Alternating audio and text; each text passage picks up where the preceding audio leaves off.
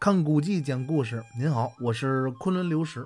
不瞒您说呀，我在这资料堆当中啊，已经做了一天了。按说今天咱们这段书的稿子呀，昨天就应该写出来，可是为什么写不出来呢？因为这其中啊，我有一个疑惑，始终解不开。后来我琢磨了，不解了，还不如啊，咱们集思广益，也许啊，能给我答案的那个人啊，就是您。那么是什么样的一个疑惑呢？您别急，咱们边说书边聊三番人物志啊。咱们首先讲的就是三顺王。当然了，这个定南王孔有德呀，他并不是三番作乱中的三番之一，但是也得讲，因为这个人物啊，他在这条主线上顺着班讲。咱们该讲谁了？咱们该讲啊，平南王一直上去了。当时的平南王啊是尚可喜，哎，随之啊我这疑惑就来了，我觉得这尚可喜啊他不好讲。那有人就说了，这尚可喜啊他有什么不好讲的呀？他容易呀，因为这尚可喜压根儿就没造反，造反的呀是他的儿子尚之信。所以说呀，这尚可喜他没造反，就比别人呢少了一段经历，这故事不就更好讲了吗？哎，我的疑惑呀，他就在这儿。那咱们呀先简单的聊一下这尚可喜啊。这尚可喜呀，和另外的两顺王不一样。您像这个孔有德、耿仲明，他们呀是一墨子，头让毛文龙认为干孙之前呀，这两个人就是干哥们儿，所以呢出入形影不离，总在一起。因为袁崇焕都是杀了毛文龙，所以这二人啊出走皮岛，投了山东，又一起啊作乱山东，投靠了后金。那么说，当年孔有德、耿仲明二人离开皮岛，投靠山东。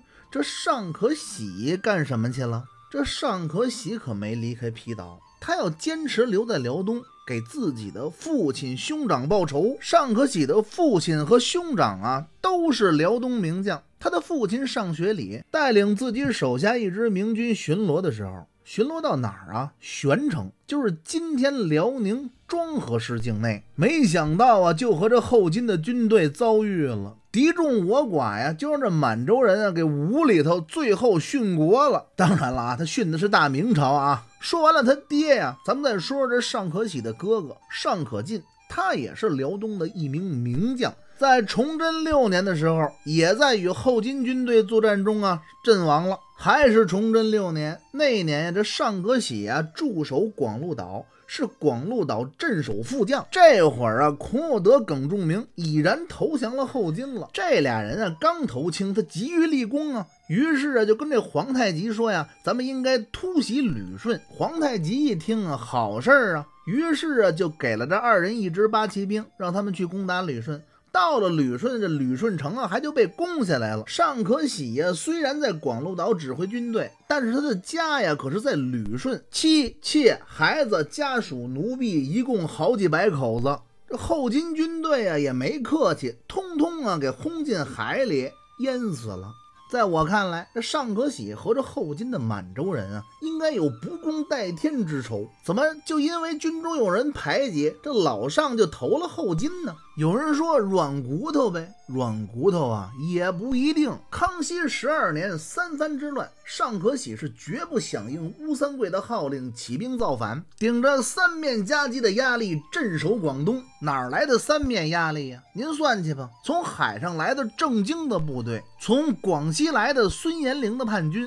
从福建来的耿精忠的叛军，您算算，这不是三面压力吗？算起来呀，这广东弹丸之地是岌岌可危呀。直到他的儿子尚之信围了王府，夺了他的兵权，这老尚啊一直顶着压力报效朝廷。要不是手下人抢救得快呀，这老尚就上吊殉国了。虽然啊，这上吊是没死成，可是啊，没几天也是郁郁而终了。临死之前呀，还嘱咐家人，死后啊要穿皇太极赐予的朝服袍带，灵柩要埋回辽东，与皇太极的昭陵啊要遥遥相守。您瞧了吗？事实就在这儿摆着。可是这其中的缘由啊，我就读不懂了。从投降皇太极到对大清朝的死忠，这里边他总得有个由头吧？这不知道，没搞明白。比起这尚可喜来呀，这尚之信就简单多了。尚之信呢，他是一个彻头彻尾的混蛋。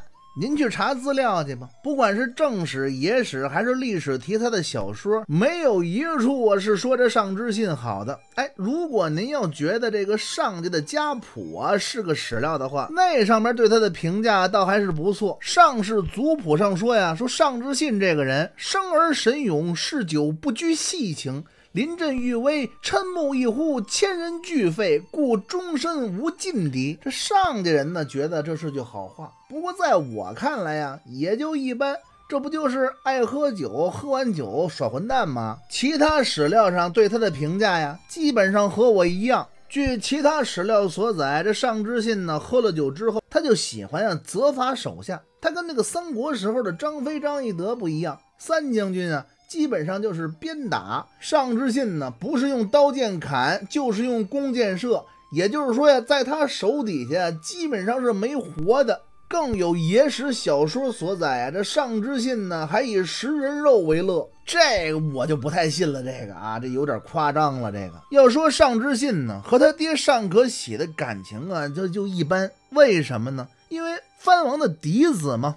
你的命运啊，就是在北京当人质。你像这个吴应熊、耿精忠，还有这个尚之信，都做过这个人质。为什么呀？因为呀，你爹手握重兵在外征战，万一要反了呢？所以呀，把你留在京城，让你们领兵在外的藩王爹呀，也算是有个顾忌。要说呀，在北京这人缘混的呀，尚之信远远要比耿精忠要强得多。咱们前番不是说了吗？这耿精忠啊，在北京简直就是个少爷秧子，会的呀，也就是扯了劲儿的花钱。可是这尚志信不一样，尚志信呢进了宫了，做了顺治皇帝身边的一名大内侍卫。并且呀，这顺治皇帝非常喜欢这孩子。这顺治皇帝啊，不但给上知信封了一个公爵，而且呀，还总以俺答呼之。这看过金庸先生《神雕侠侣》的人都知道，这俺答呀，就是小哥们儿的意思。所以说呢，要说别人都不待见他呀，这顺治皇帝倒是还挺喜欢他的。可是啊，没过多久，这顺治皇帝得天花驾崩了，一朝天子一朝臣。哎，这小皇上康熙呀继位了。康熙皇帝不待见他，为什么呀？性格暴虐，又好饮酒。这家伙是逢酒必喝，沾酒必醉，喝多了滋事，还不服管教。康熙十年的时候，这广东的尚可喜呀，总给朝廷写奏折，说自己呀身体不好，请求自己归老辽东。这康熙皇帝呀是这样答复他的：你也别先说归老辽东。干脆呀，让你的儿子回到广州城啊，帮你料理军务政事。这样呢，你也算有个帮手，把你的政务军务啊，慢慢的移交给他，你不就轻松了吗？这尚之信呢，离开北京城之后啊，更没人管得了他了。到了广州以后啊，他是大世子，那就是小王爷呀。在饮酒暴虐方面啊，加了个“更”字。不但如此啊，他还欺凌兄弟，对老爹也不好，总是埋怨单可喜呀，为什么不让他袭成王爵？这老王爷呀，让他闹的也没办法。于是就在康熙十二年的春天，又启奏朝廷，跟着康熙皇帝说呀：“我呀，干脆。”带着我手下的两左领兵啊，回辽东养老，让这上知信袭了我的王爵就完了。皇上，您看这样行不行啊？康熙皇帝啊，接到奏折以后啊，琢磨了一下，不行。首先说，这康熙皇帝早就把撤藩定到了议程上；其次，这小皇上啊，压根就瞧不上上知信的人品。上知信在广东的一举一动啊，早就有人偷偷禀报了皇上。把一省藩地交给这样的人呢，皇上肯定是不放心。于是啊，就给这尚可喜写了回批，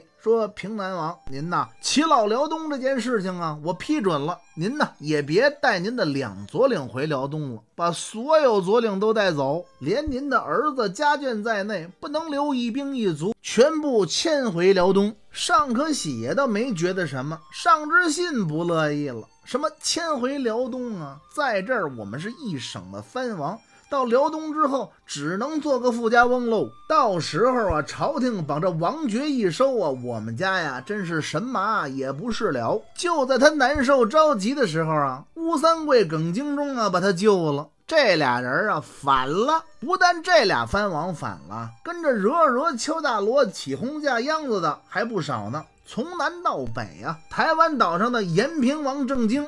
广西将军孙延龄、陕西提督王辅臣，就连草原上的蒙古人察哈尔亲王布尔尼兄弟也趁火打劫的造了反。这会儿的尚之信这眼里啊都出了火了，他琢磨着：我爹还不趁乱就跟着反了就完了呀？您说请辞辽东，让我接班继续镇守广东，这大清朝廷毫不留情面。不念旧情，一下子把咱们全家呀全往辽东轰。所以说，干脆呀，咱们旧事也反了不？谁知道他爹尚可喜呀，可不是这么想的。誓与大清共存亡，腾出手来指挥军队啊，四面抗击叛军。这皇上一看呀，这老平南王啊，还真是个忠臣，于是啊，还给这老王爷升职了，晋封为了亲王。这老王爷本来就和尚之信感情不深。三藩之乱以来，又看着他上蹿下跳的想背叛朝廷，投靠乌三桂，于是这心里这个气呀就别提了，也没和别人商量，就给皇帝写了一封奏折，说皇上皇上啊，我决定啊，咱们不立长了，立贤吧，我要把这平南王这个爵位啊传给我的二儿子尚之孝，您看这事儿，您同意不同意呀？康熙皇帝接到信之后，这个乐呀，那怎么能不同意呢？直接呀就写了回批，说行，这是一个谁都高兴的事儿。可是唯有这上知信呢，他不高兴，他心里琢磨：爸爸呀，爸爸，您真行得出来。这可就别怪我这当儿子的心狠手辣了。康熙十五年的二月二十一，尚之信带领着自己的亲兵就包围了王府，逼着自己的父亲交出了兵权，正式起兵响应了三藩之乱。这广东啊也造反了。尚之信起兵造反以后啊，这吴三桂直接就给了他一个亲王衔，叫什么辅德亲王。这尚之信呢心里正美呢，祸事来了。这吴三桂呀来信了，说既然是同盟嘛，你呀得给我拿点军饷。这尚之信说：“这个那您得要多少啊？呃，先来个四百万吧。”这都多少？四百万？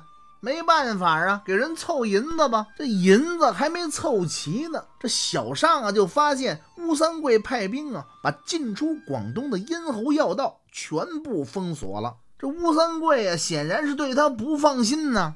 就在这会儿啊，远处啊又传来了消息：大将军涂海图军们平叛了察哈尔的兵乱，转回头来又收复了西安的叛将王辅臣。广西的孙延龄也反正重新投了清。小尚王爷一想啊，要不这样，我也重新投降大清就得了。这样呢，这爵位保得住保不住啊？在其次，总归这钱是保住了。大清国这会儿啊，在前方平叛的将军啊是谁呀？简亲王喇布就在康熙十五年的十二月初九，这小尚王爷派自己的亲随到喇布军中起降。您算日子了吗？这一共啊，这小尚才起兵造反了八个月。这康熙皇帝得到消息以后啊，暗自发笑，哎，降降了吧，降啊，总比叛了好。让他袭了他爹的王爵，在广东协助平叛。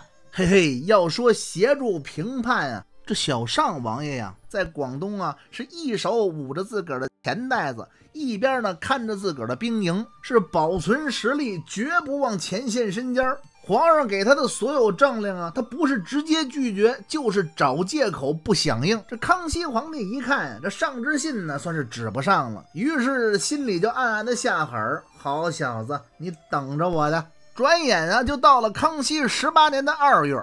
这会儿啊，连吴三桂都熬死了，剩了一些余部啊，流窜到广西一带。康熙皇帝说：“平南王爷，我的亲王，这回是不是该兵到广西去协助一下了？”这尚王爷一看呀，是该动动了，要不这呀，实在是说不过去了。于是啊，就带着兵到广西的武宣去助战。这一去呀，就再也没回来。康熙皇帝设计在武宣就秘密逮捕了尚之信，并且呀，一根麻绳刺其自尽。尚之信呢，也没随他父亲一起葬回辽东，就埋在了广州西的报慈寺。随后，大清朝廷撤销了平南王一藩，所部十五左领归入了八旗汉军。驻防广州。书至此处啊，平南王一番，咱们就算讲完了。精彩回目就在明天，咱们明天呀，该说吴三桂了。